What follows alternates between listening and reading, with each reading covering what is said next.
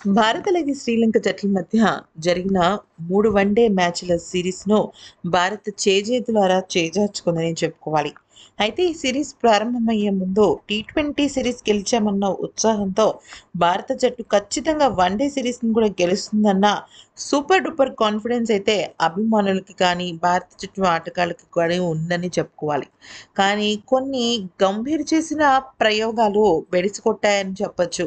ముఖ్యంగా ఎనభై శాతం కారణమైతే భారత జట్టు ఆటగాళ్ళు ఆడాల్సిన విధంగా మెరుగైన ఆట ఆడకపోవడమే ఇక్కడ ఎక్కువగా కారణంగా కనిపిస్తుంది. అయితే దీనిపైన గంభీర్ ఏమన్నాడో ఒకసారి తెలుసుకుందాం. అయితే ఇందుకు గంభీర్ ఏమన్నాడంటే ఈరో ఈసారి వన్డే సిరీస్ ఓటమి పాలైనందుకు చాలా నిరాశగా ఉంది. అయితే ఇక్కడ బేసిక్గా ఆటగాళ్ళు బౌలింగ్లోనూ బ్యాటింగ్లోనూ కొన్ని విషయాల్లో సరైన పద్ధతిలో ఆడకపోవడమే ఈ సిరీస్ ఓటమికి కారణమని నాకు అనిపిస్తుంది అయితే మేము ఈ సిరీస్లో కొన్ని మ్యాచెస్లో కొన్ని ప్రయోగాలు అయితే ఖచ్చితంగా చేశాం. దానికి మేము మూల్యం చెల్లించుకున్నాం. కానీ మూడో వన్డే మ్యాచ్లో కేఎల్ రాహుల్ని గనక ఖచ్చితంగా ఉంచినట్టయితే తను ఎంతో కొంత ప్రభావం చూపిస్తాడని నాకు అనిపించింది అయితే మిడిల్ ఆర్డర్ బలహీన పడుతున్న సమయంలో మేము కొన్ని ప్రయోగాలను అయితే ఖచ్చితంగా చేయాలని అనుకున్నాం అయితే రాబోయే ఛాంపియన్స్ ట్రోఫీ మా టార్గెట్. ఆ టార్గెట్కి సంబంధించి మేము రకరకాల ప్రయోగాలు చేస్తూనే ఉంటాము.